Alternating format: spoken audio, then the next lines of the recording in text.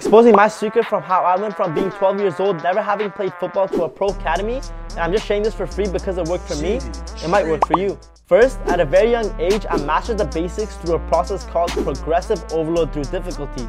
Whilst doing so, I played a lot of pickup and put my new skills and basics to test against real opponents, adding that stress element to my brain. After I became technically sound, I trained unrestricted game realism exercises through a process called IDP, Instinct Driven Principle. I eventually became instinct driven and I learned how to apply this against real opponents in team and pickup and now I enter flow states and play without thinking, just like the elites.